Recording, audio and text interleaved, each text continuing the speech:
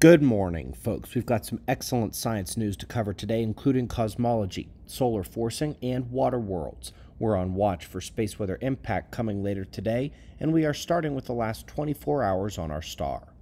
The sun is fairly quiet at the moment. Solar flaring is in C class range. Solar wind and geomagnetic conditions are quiet. We are going to see later today if we get a glancing blow from the northern eruption that occurred on Monday morning. It won't be scary, but could produce aurora if it hits.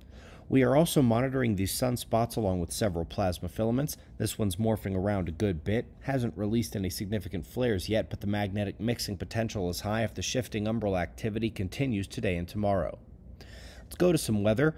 The major snowfall in Alaska right now is breaking records. It's also collapsing roofs, sinking boats under its weight, and shutting down several aspects of transportation and commerce as the cleanup marches on. We've got a good link to the article on coldweatherreport.com. That's a good site to check, by the way, for all the biggest cold weather news you don't get as much of in the mainstream. Up next, we're at the Milky Way level, where veteran observers are going to get flashbacks to our cosmology discussions from years ago. Yep, turns out the galactic rotation curve isn't what they thought, causing them to begin to question the amount of dark matter in the Milky Way. Spoiler alert, at the end of that road, they will eventually discover that amount is zero, here and everywhere else. Good paper up next discussing how the total electron content in the atmosphere is driven and controlled by solar activity.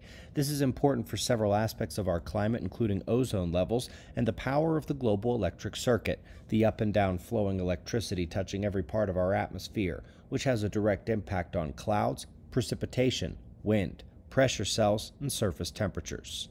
Not too unrelated is this one. We spent a lot of time last year discussing how modest space weather was creating extreme impacts to the Earth's upper atmosphere, far more than expected.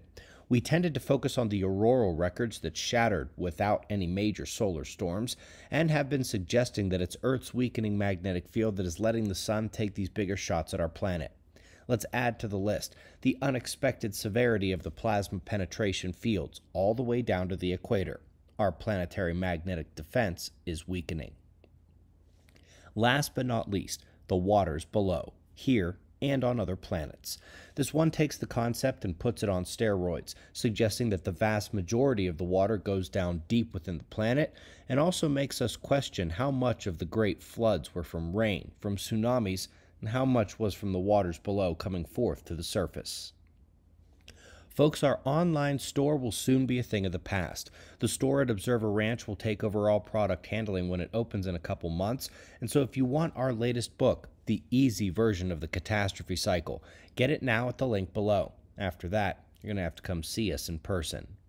We greatly appreciate your support. We'll do this all again tomorrow, right here, but right now at 6 a.m. in the new Valley of the Sun. Eyes open, no fear be safe, everyone.